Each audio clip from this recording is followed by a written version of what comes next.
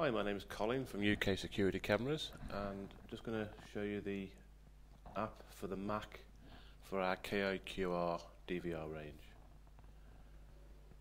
So this is the app here, it's called DVR Player. You double click on it and get a login screen. Pop the address in there, media port is 9000, password and whether you're going in via LAN, going in via LAN for this demo. And you then get a screen with your pictures. Let's just zoom in a bit on that so you can see a bit more detail. Okay. Okay, so you've got your screen viewing options here.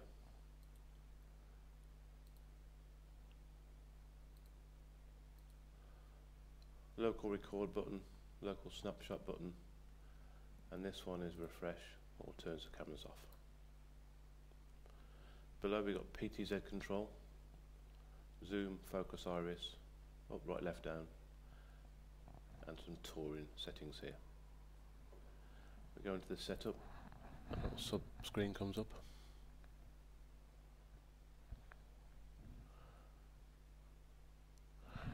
Okay, let's go along the tabs from the left to right.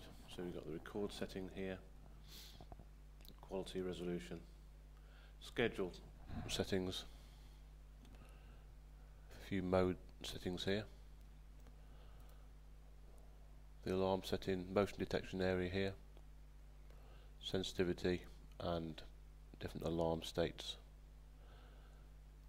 Email settings for sending snapshots of motion activations. PTZ settings including Pelco DNP. Network settings here. Device management including passwords and finally some info about the, the unit. Okay, next tab is playback. Just pull that camera back a bit. Okay, there's your playback screen. So you've got your dates selection here. Let's just try today's date. Press the search button and that then brings any recordings down here. The recordings with a clock by them are standard timed recordings and then anything with an exclamation mark are alarm or motion recordings.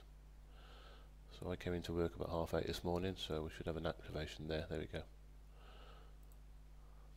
So double click on that and that plays it back, there's me pulling up in the van and there's me opening the door.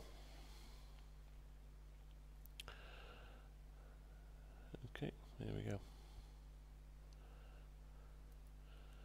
We've got a history tab here of all the uh, playbacks I've done. I've just been through and done some checking what's on the hard drive and there's a assortment here from yesterday. Then we've got the local tab here. These recordings I was just doing some backups of earlier. Just testing this up. Transport controls for the playback are here. And you can select an item click backup and that backs up to the local hard drive for you. There we go. Viewing app for the KIQR 4 and 8D and 16D DVRs